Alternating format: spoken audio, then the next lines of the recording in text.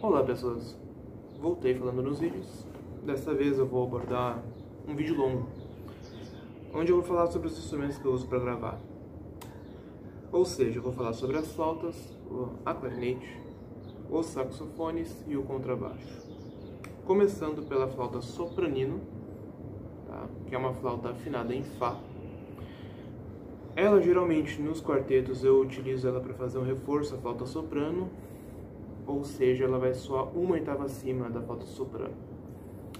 Tem a opção de se tocar na mesma altura de nota da flauta soprano, mas tem que cuidar que a nota mais grave da partitura em si, do hino ou da música, seja um Fá. Porque ela é uma flauta afinada em Fá. E, portanto, o seu Dó, a posição de Dó dela, Dó grave, é um Fá. Ou seja, tem que cuidar isso.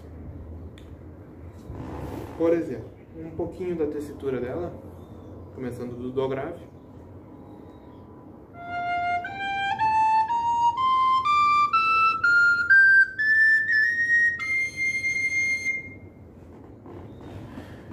De Dó a Sol, tá? mas sonoramente é de Fá a Dó. Olha as cachorras. essa daqui é uma flauta de digitação barroca. Eu tinha digitado a de digitação germânica. E te digo assim, a afinação entre elas, entre as barrocas, é muito melhor, muito mais precisa do que a das germânicas, tá? Flauta soprano. A diferença de tamanho entre elas, tá? A flauta soprano é afinada em dó e nos conjuntos de flauta que geralmente eu faço, ela faz a função de soprano. Por ser uma flauta afinada em Dó, o seu Dó grave soa Dó, obviamente. Há a possibilidade dela fazer a voz do contralto, mas tu tem que cuidar que a nota mais grave do contralto seja um Dó. Tá? De Dó a Sol também.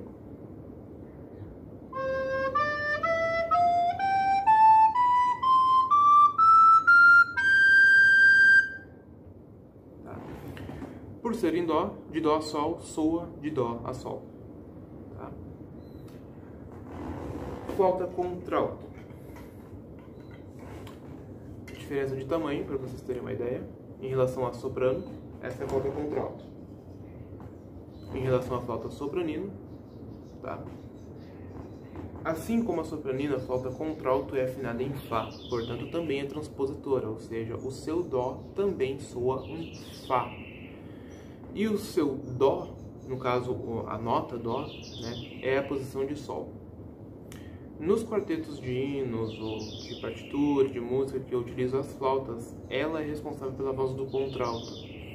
É possível se fazer o soprano também igual, na mesma altura de notas da flauta soprano, mas tu tem que utilizar a partir dessa nota aqui, ou seja, muitas notas oitavadas. Aqui é a posição de Sol, tá? Essa é a posição de Sol. Uh, é possível também fazer o tenor, só que tem que cuidar que a nota mais grave do tenor seja um Fá. É exatamente como o soprano grave na sopranino, o tenor nessa daqui, a nota mais grave tem que ser um Fá. É obrigatório ser um Fá, senão tu vai ter que fazer o chamado pedal, ou seja, se tiver um Mi, como ela não tem recurso de Mi, tu vai ter que fazer o Mi aqui, tá? Em vez de não, né, ter um chaveamento para dar uma nota Mi, coisa que ela não tem de Dó a Sol.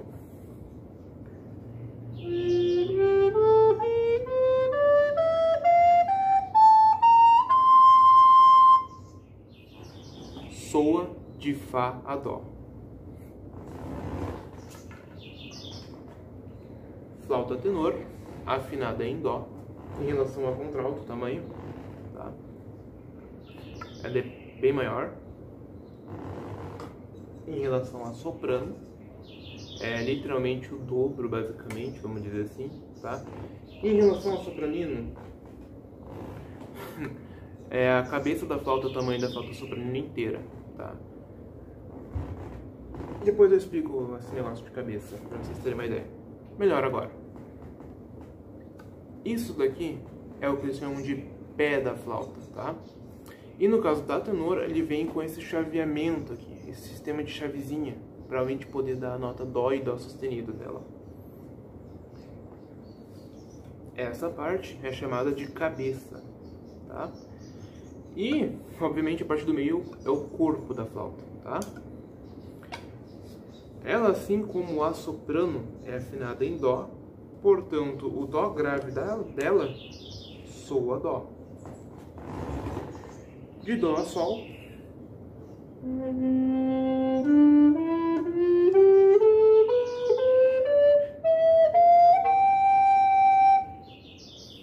Dó a sol, do, soa de dó a sol. Detalhe. Ela, nos conjuntos, ela faz a voz do tenor, tá? É possível se fazer o contralto, mas tu vai oitavar bastante as notas. E é possível se fazer a voz do baixo natural, que obviamente, né, por serem flautas, todas soam uma oitava acima da sua voz correspondente, tá? Mas no caso do baixo natural, tem que cuidar que a nota mais grave vai ser um dó e cuidar muita coisa, porque tu vai ter que fazer bastante pedal baixo daí nela, tá? ela também faz a voz do soprano natural, soprano escrito, soprano que, por exemplo, um sax soprano, um oboé, uma clarinete, um violino faz, tá? Sem ser oitavado. É o soprano natural, realmente, ela toca daí. Tanto é que quando ela faz o soprano natural, eu uso a clarinete no contralto e tenor, tá? Mas, quando é somente conjunto de flautas, a clarinete faz a função de baixo natural, ou melhor, de flauta baixo. Eu não tenho uma flauta baixo porque o valor é de um sax, para vocês terem uma ideia. O valor que eu gastaria num sax novo, eu gasto numa flauta baixo. Mas para isso, a gente tem a clarinete. Essa clarinete aqui, ela é do meu falecido avô. Era, ou é, do meu falecido avô é uma clarinete em dó, chamada clarinete em dó, de 13 chaves. Eu já contei, na verdade ela tem 12, mas ela é considerada uma clarinete de 13 chaves, tá? O legal de tudo é que, embora seja uma clarinete em dó, a posição de dó nela é os três primeiros dedos, exatamente como a posição de sol nas flautas em fá. Porém, na segunda oitava dela, a posição de dó é a posição de dó das flautas em dó. A nota mais grave dela é um Mi, que é essa chavinha aqui. Não sei se dá pra ver. Essa chave aqui. Tá? Portanto, a nota mais grave dela. Mas nos quartetos, geralmente eu considero a nota Fá. Tá? Que é essa daqui. Então, de Fá a Dó, por exemplo.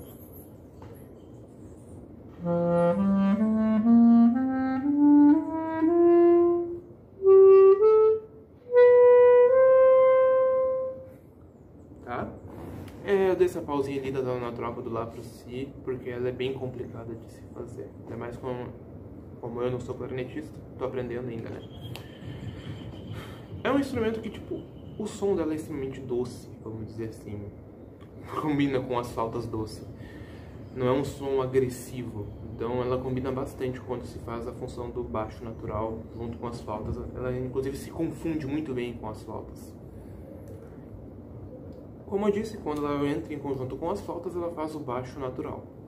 Quando ela entra em conjunto com o sax, por exemplo, ou com a flauta tenor, ela faz contralto e tenor, o escrito daí, tá? a voz original, vamos dizer assim, sem oitavar. Hum, eu não faço soprano nela porque eu não tenho competência, eu admito. Como eu estou aprendendo, ainda não domino ela completamente. E sax soprano.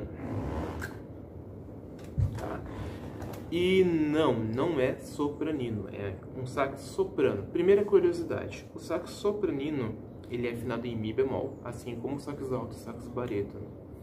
O sax soprano, por mais que tenha formato, esse formato curvo, ele se chama formato de cachimbo, ou curvo propriamente dito, né? Porque tem uma curva, né? Ele é afinado em si bemol, portanto o seu dó soa si bemol, tá? Para ele eu não vou usar, uh, eu chamo de coleira, mas tem um nome correto, a gente é cachorro, para usar coleira, que é essa correia aqui, tá? Geralmente eu utilizo ela mais pro alto, pro tenor e pro barítono. Porque para ele, ele é um instrumento não muito pesado, é um pouco mais pesado só que a clarinete, mas é fácil de se tocar sem o apoiozinho. Tá? Nota mais grave dele é um Dó, é um Si bemol na verdade, desculpa, é um Si bemol, tá? que soa na verdade Lá bemol. Detalhe, agora isso é uma curiosidade minha, tá? Eu trato esse instrumento como um instrumento transposto. Assim como as flautas em Fá, eu não toco a escala do instrumento. Por exemplo, a nota Dó do instrumento é essa daqui, mas a nota Dó que eu dou é essa daqui, que é o Ré do instrumento. Por quê? Porque sonoramente falando, esta é a nota Dó, tá? Então, de Dó a Sol, assim como eu fiz com as flautas, tá? Dó do instrumento eu vou dar aqui, tá?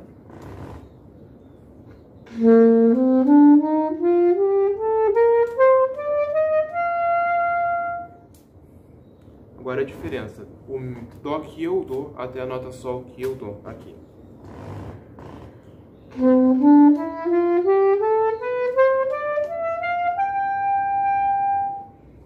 Tá?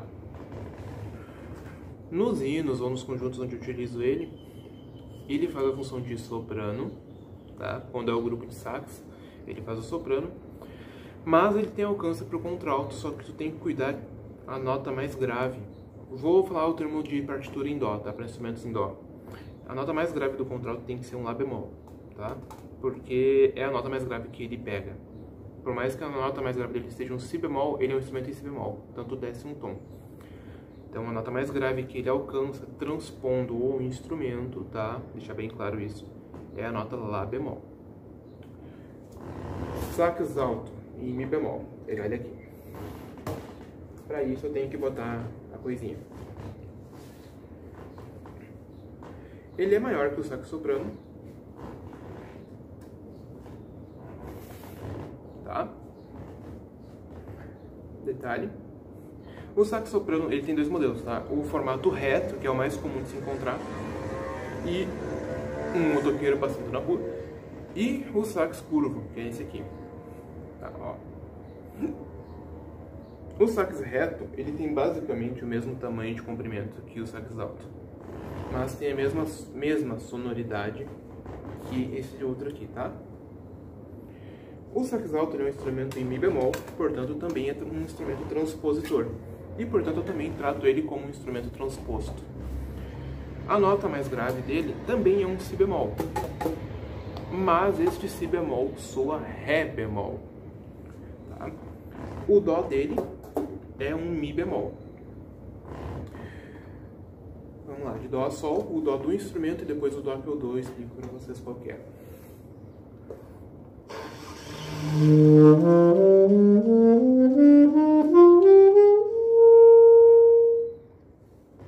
Tá.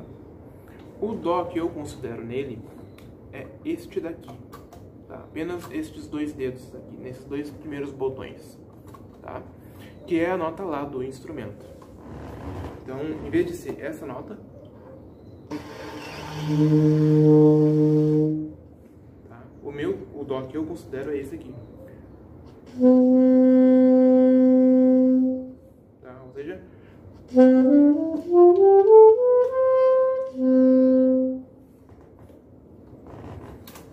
nos conjuntos em que eu utilizo ele, ele é responsável pela voz do contralto, só que detalhe, por ser um instrumento extremamente versátil, lembrei da palavra, ele faz a função do soprano, tanto natural quanto o na oitava grave, mas tem que cuidar também a nota mais grave, tá? Então, mas é possível se fazer assim. Mas ele faz o soprano natural, o contralto natural e o tenor escrito, ou seja, sem oitavato. Se tu quiser oitavato, pode oitavar. Quando eu usava ele junto com as flautas, ele fazia a função que a clarinete faz hoje, que é a função do baixo natural. E o sax soprano fazia a função de tenor, quando eu não tinha flauta tenor. Claro, oitavando, né? Mas, atualmente, eu não utilizo mais esses conjuntos. Então, atualmente, o sax alto faz contralto, tenor natural, tenor escrito, tá? E soprano natural. O sax soprano faz soprano e contralto apenas. Sax tenor ele é afinado em si bemol, assim como o sax soprano. E nos conjuntos de hinos ou de músicas que eu se o motoqueiro passar, que eu, eu o utilizo, ele faz a terceira voz, que é a voz do tenor. Ele é mais versátil ainda que o sax alto, porque tu consegue fazer o soprano no grave do instrumento, o soprano natural, o contralto, o tenor e ainda se arriscar no baixo natural, se tu tiver embocadura. Ele tá com vazamento para variar. Então, a nota mais grave dele é um si bemol. Também, ó, ó a vedação. Tá bem boa. Top. Olha a diferença. Então, a nota mais grave dele é um si bemol, mas o dó dele soa si bemol. Portanto, ele é um instrumento transpositor. Então, o seu si bemol é um lá bemol, na verdade. Mas o dó que eu considero não é este, mas sim esse aqui, que é o ré do instrumento. Então, vou fazer a escala a descendente, ou seja, de baixo para de cima para baixo, tá? A partir do dó aqui.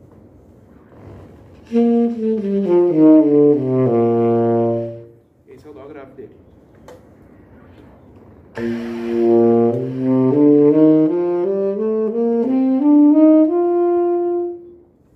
De dó a sol do instrumento e de dó a sol agora, o que eu utilizo, considero dó a sol.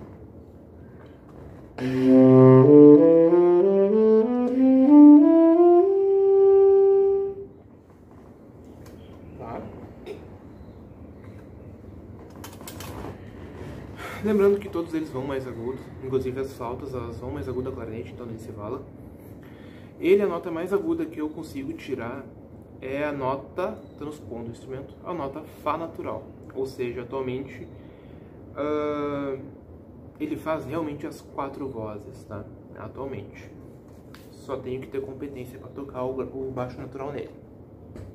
E por último, o que não é meu, tá? dos saxofones o barítono. Eita!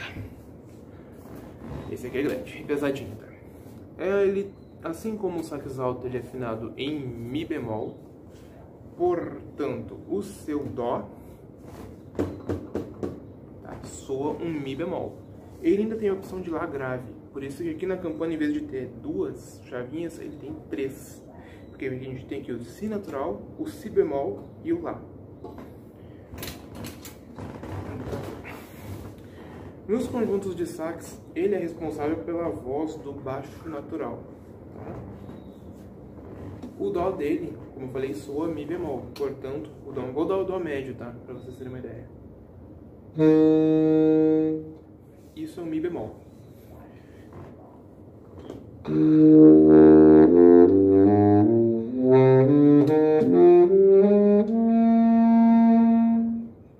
De dó a sol no instrumento mas o dó que eu considero não é esse aqui do minguinho. Assim como no sax alto, o dó que eu considero é o que a gente usa esses dois dedos, que é a posição de lá do instrumento. Tá? Portanto...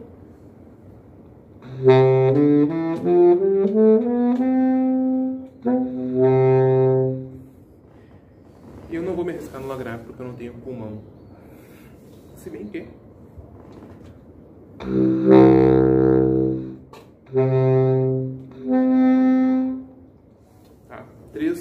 oitavas da nota Dó. É possível também fazer o tenor nele, que é a sua voz secundária. E se tu tiver uma boquilha mais pesada, vamos dizer assim, mais aberta, uma paleta mais pesada, tu faz inclusive o contralto nele, tá? O soprano nele vai soar obrigatoriamente uma oitava mais grave. Vou botar aqui de novo. E ficar em pé, né? Porque vem aí o último que é o contrabaixo. Opa, fica em pé agora, porque o vem o último, que é o contrabaixo acústico. Ele leva a mesma afinação de um baixo elétrico, tá? Por exemplo, ou de um... as quatro últimas cordas do violão, que é Sol, Ré, Lá e Mi. Tu pode tocar, como fiz agora, psicato, por exemplo.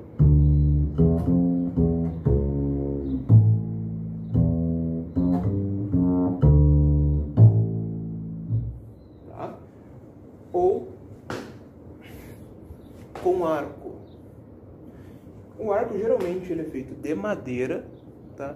E essa parte branca aqui, falei que nem, tá? Essa parte branca aqui ela é feita de crina de cavalo, tá?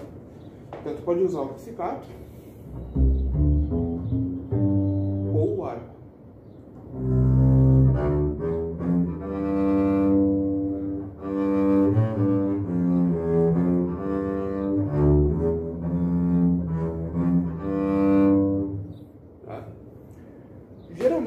a função do contrabaixo acústico? É fazer justamente a voz que ele vai estar dizendo. O contrabaixo. O que é o contrabaixo? O baixo profundo, ou seja, uma oitava abaixo do baixo natural. Então é isso. Ficar sem microfone. Esses são os instrumentos que eu utilizo e as vozes que cada um deles faz. É isso. Até a próxima.